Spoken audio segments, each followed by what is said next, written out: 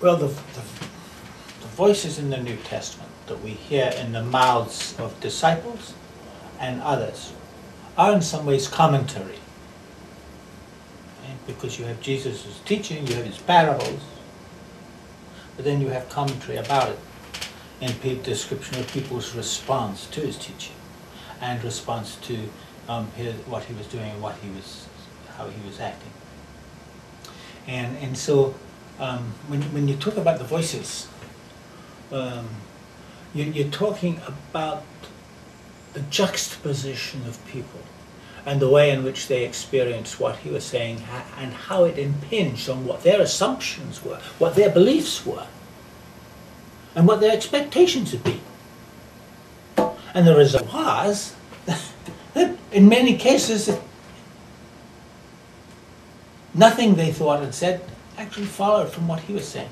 There was there was conflict, and so you had you saw in people a change of mind, um, a reconsideration of their place, an evolvement of their understanding.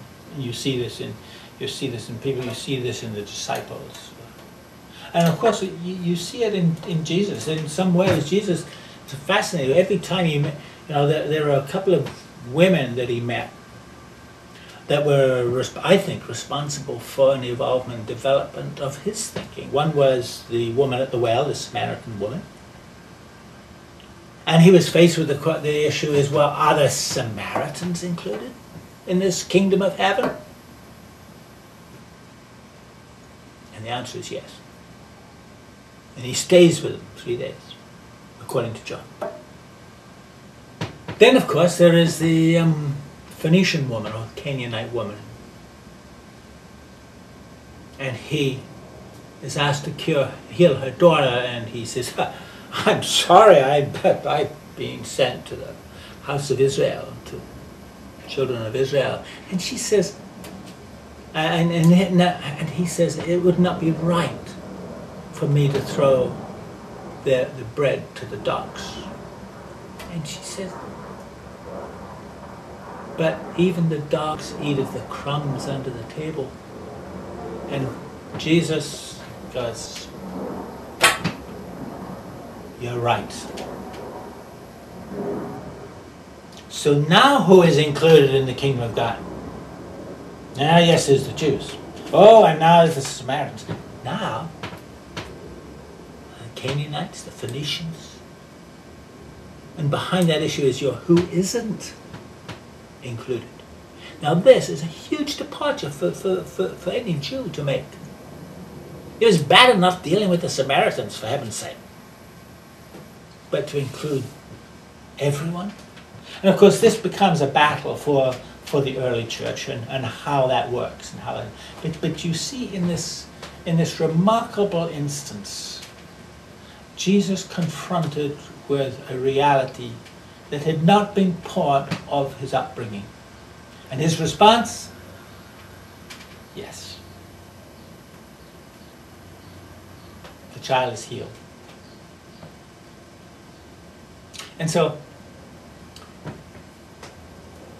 the response of people to him is illustrative of what they experienced in meeting him.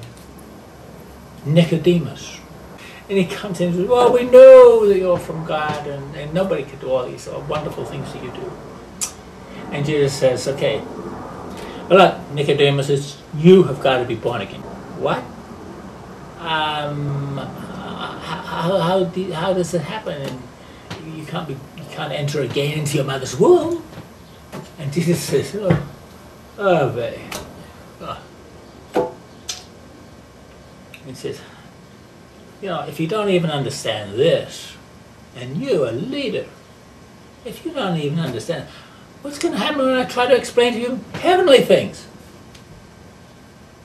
Think about it. Think about it.